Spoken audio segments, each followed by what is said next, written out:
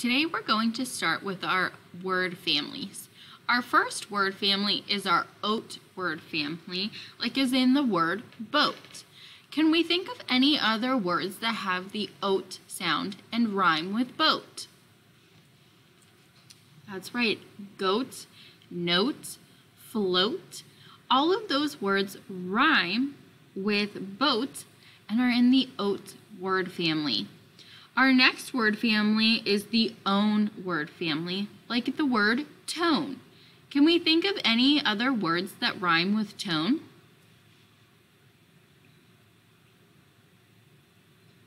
That's right. Our words groan and cone and bone, they all rhyme with tone, so they're in the own word family. Great job.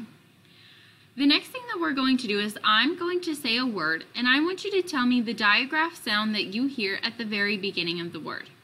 Our first word is the word shampoo. What digraph sound do you hear at the beginning of shampoo? That's right, it's the sh sound. Great job, first grade. Our next word is the word chewing. What digraph sound do you hear at the beginning of chewing?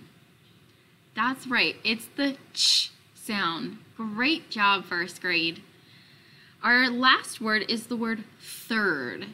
What digraph sound do you hear at the beginning of third? That's right, it's the th sound. Great job, first grade. Now, I'm going to give you some sounds, and I want you to help me put them together to make a word. I have sh, a, v, sh, a, v. And when I put all of those sounds together, I get the word shave. Great job, first grade. Our next word is, or our next set of sounds are f, or, f, or, n.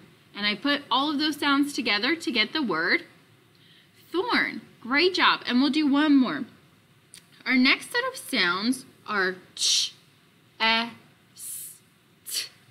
And when I put all of those sounds together, I get the word chest. Great job. Now, I'm going to give you a word, and I want you to tell me the sound that you hear in the middle of that word. Our first word is the word week. W, e, k. What sound is in the middle?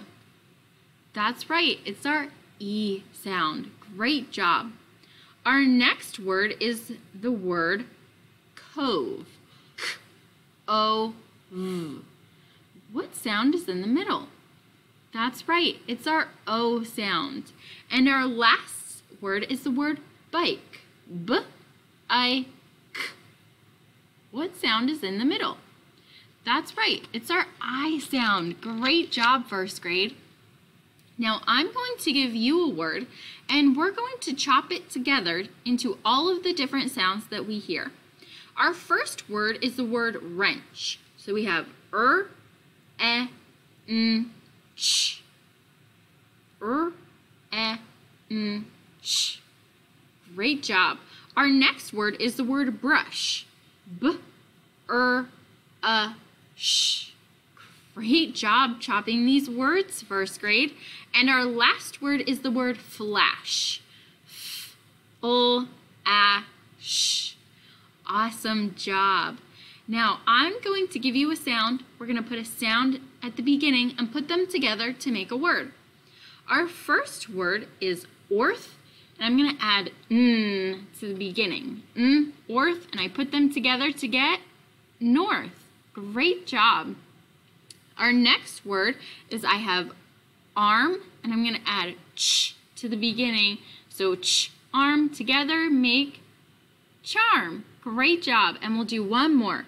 Our next word is out, and I'm going to add sh to the beginning. So sh, out, together, give me the word shout. Great job.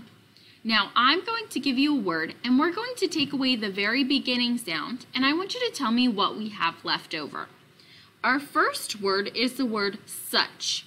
Such. And if I take away that s sound, what do I have left? That's right, I have the word uch left over. Great job. Our next word is the word thing.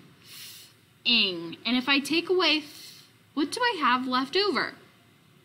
That's right, I have ing left. Great job. And our last one is if I have the word shown, sh, own, and I take away the sh sound, what do I have left? That's right, I have own left over. Great job. And now, instead of just taking away that beginning sound, we're going to change it to make a new word. Our first word is the word heat. Huh, eat. And if I take away that huh sound and I put the s sound for s, eat, I get the word seat. Great job. Our next word is the word cope. Ope. And if I take away that k sound and I put the s sound, I get s ope, soap. Great job. And we'll do one more. Our last word is the word like. Ul, ike. And if I take away that ul sound and I change it for the b sound, I get b, ike, bike. Awesome job, first grade.